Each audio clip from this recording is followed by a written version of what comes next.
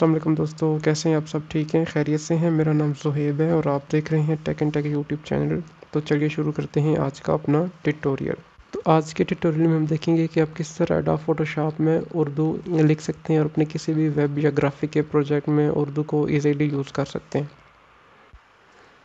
तो सबसे पहले हम इन पेज को ओपन कर लेते हैं।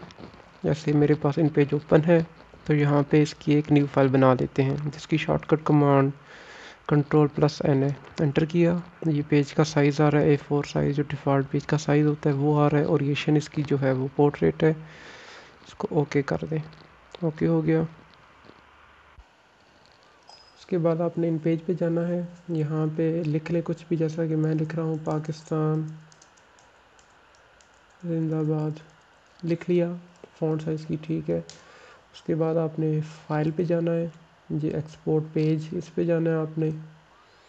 ये उसके बाद आपने ये ब्राउज़ के बटन पे करना है क्लिक क्लिक किया। उसके बाद यहाँ पे अपनी जो लोकेशन है, जहाँ पे आपने फ़ाइल को सेव करना है, वो सेलेक्ट कर लें। ये मैंने डेस्कटॉप कर लिया सेलेक्ट यहाँ पे फ़ाइल का नाम कर दें जी।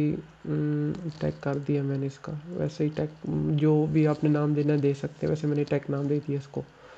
उसके बाद सेव एज टाइप पे क्लिक करेंगे तो ये सेकंड जो इसकी ऑप्शन आ रही है इनकेप्सुलेटेड पोस्ट स्क्रिप्ट फ़ाइल इसको चूज़ करें और सेव कर दें।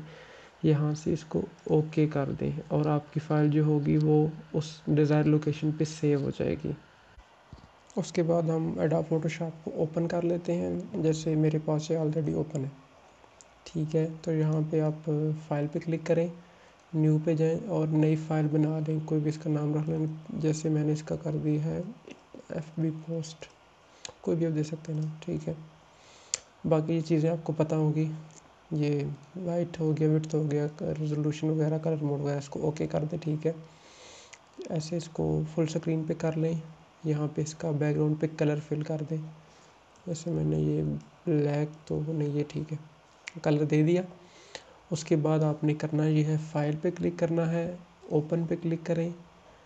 और जो इन उर्दू की, इन पेज की आपने फ़ाइल बनाई थी टैग के नाम से, उसको आप इधर ओपन कर लें। ये ओपन किया। ये थ्री हंड्रेड रेजोल्यूशन इसकी आ रही है कलर मोड ये आ रहा है, इसको ऐसे ही रहने दें, ठीक है, और ओके कर दें।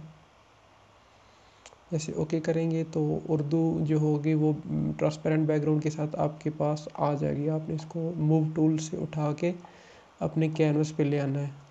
इसको बेशक आप क्लोज़ कर दें। और ये आपके सामने आ गई उर्दू। अब उर्दू के ऊपर आप इसका कलर चेंज करना चाहें आउटलाइन लगाना चाहें, वो आपकी मर्ज़ी आप लगा सकते हैं। जैसा कि मैं इसके ऊपर कुछ इफ़ेक्ट लगा रहा हूँ, ये कलर इसका वाइट कर दिया। शेडो इसको दे दिया। उसको थोड़ा थ्री डी का इफ़ेक्ट भी दे दिया। आउटलाइन इसको दे दी मैंने ब्लू कलर में। ये थोड़ा सा इसका स्टॉक को इनक्रीज़ कर लेते हैं। इतना ठीक है।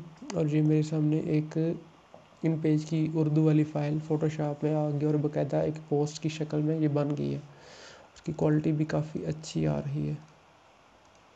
क्योंकि मैंने छोटे साइज़ में बनाई थी, इसलिए वैसे इसकी क्वालिटी बहुत अच्छी आएगी। अगर आप प्रिंट करना चाहें तो वो भी आप इजीली यहाँ से कर सकते हैं। आपकी उम्मीद करते हैं कि आपको हमारी ये वीडियो पसंद आई होगी। मज़ीद इस तरह की टेक से रिलेटेड वीडियोज़ या ट्यूटोरियल वीडियोज़ के लिए हमारे चैनल टेक एंड टेक को सब्सक्राइब करना ना भूलिएगा।